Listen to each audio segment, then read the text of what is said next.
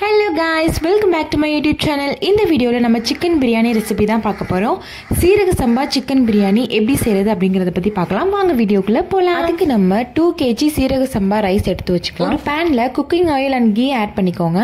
எண்ணெய் சூடானதுக்கப்புறம் பட்டை லவங்க கிராம்பு அப்புறம் அந்த பிரியாணி ஸ்பைசஸ் எல்லாமே ஆட் பண்ணிக்கோங்க. நெக்ஸ்ட் ஆனியன் ஆட் பண்ணி ஆனியன் நல்லா கோல்டன் ஃப்ரை வர வரைக்கும் வதக்கிட்டு ஜிஞ்சர் கார்லிக் பேஸ்ட் ஆட் பண்ணிக்கோங்க. ஒரு டூ டு த்ரீ மினிட்ஸ் அந்த பச்சை வாடை போகிற வரைக்கும் வதக்கிட்டு அது கூடவே புதினா இலை மல்லி இலை ஆட் பண்ணிக்கோங்க. அதை நல்லா கிண்டிட்டு க்ரீன் சில்லி ஆட் பண்ணிக்கோங்க. டூ கேஜி பிரியாணிக்கு seven to eight chillies add பண்ணுறோம் உங்களுக்கு எவ்வளோ காரம் வேணுமோ அதுக்கேற்ற மாதிரி நீங்கள் ஆட் பண்ணிக்கோங்க.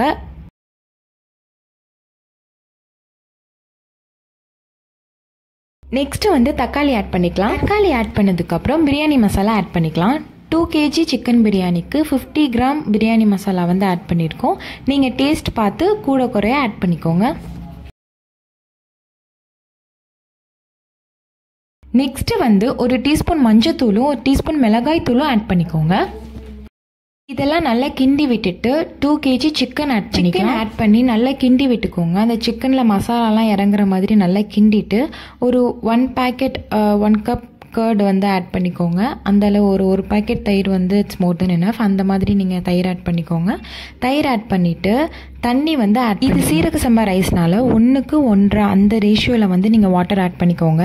சீரக சம்பா பாஸ்மதி ரைஸ் எல்லாமே கொஞ்சம் தண்ணி அளவு வந்து சேமாக வைக்கிற மாதிரி தான் வரும். நார்மல் ரைஸ்னால் நம்ம வந்து ஒன்றுக்கு ரெண்டு அந்த மாதிரி யூஸ் பண்ணுவோம். இதுக்கு ஒன்றுக்கு ஒன்றே கரெக்டாக இருக்கும். ஸோ தண்ணி ஊற்றி அதை நல்லா மூடி வச்சுருங்க. ஃபைவ் மினிட்ஸ் கழித்து தண்ணி நல்லா கொதிச்சதுக்கப்புறம் அரிசி ஆட் பண்ணிக்கலாம்.